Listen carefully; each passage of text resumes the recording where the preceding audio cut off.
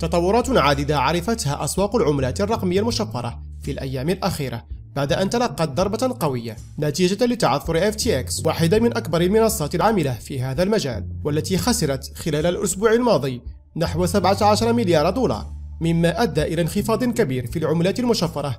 قدر بنحو سالب 14% خاصة البيتكوين التي خسرت خلال 24 ساعة أكثر من 12% من قيمتها. وهبطت القيمة السوقية للعملات المشفرة من 3.65 تريليون دولار في نوفمبر 2021 إلى نحو 808 مليارات دولار في منتصف نوفمبر 2022 الأمر الذي أصاب الأسواق بالفزع والهلع وينذر بانهيار هذا السوق. وهو ما دفع البعض لتشبيهها بالأزمة المالية العالمية التي حدثت عام 2008 ما يهمنا في هذا الصدد هو أن جزءا لا بأس به من المتضررين. هم من المنطقة العربية خاصة المغرب والخليج العربي رغم عدم قانونية هذه المعاملات والذين سيتأثرون حتما بهذه الهزة. أزمة مستمرة لأشهر أو لسنوات أو كما اعتدنا في السابق بأن العالم ينسى مثل هذه التوترات.